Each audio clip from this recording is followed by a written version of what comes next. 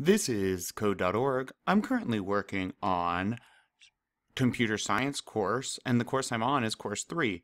The lesson I'm on is the maze. Let's see. Assessment. Get to the sunflower using as few blocks as possible. So this is going to be what we have been doing. So I have one block on the screen, which is when run, and I need to use six blocks total, so only five more to go. To do that, I can tell definitely going to need this repeat until. And remember, this pink repeat until anything inside of it will repeat over and over until we get to our goal, which is the sunflower. We ask the computer every time it runs, hey, are we here? Are we at the sunflower? If the answer is no, it will run the code inside.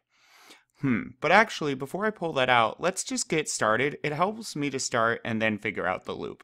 So I'm going to want to turn right, I can tell, and then I guess move forward three maybe, and then probably turn to the left? Let's see.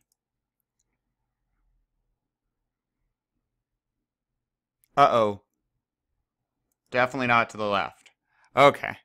And then probably move forward. I'm not really sure. And I know I'm over the limit right now, but I'm just testing things out. It helps me visualize it like this.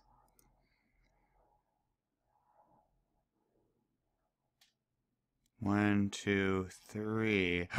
Now look at this. But-ah! Notice how this is the same? Turn right, turn right, move forward, move forward, move forward, right?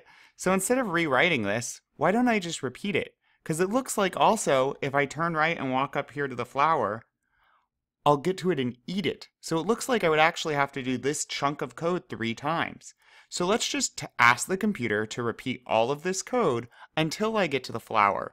So let me hit reset and I'll step through it. So first, hey computer, Am I at the sunflower? Nope. Okay, since the computer says no, it's now going to start running. Turn right, move forward, move forward, and move forward. And now I'm going to ask the computer again, hey, did I uh, get to the sunflower? Hmm, well, if you look, nope. And so no, so then the computer says no, and it will run the code again. And now I'll move forward one more time. Now we're going to ask the computer again, hey computer, am I at the sunflower?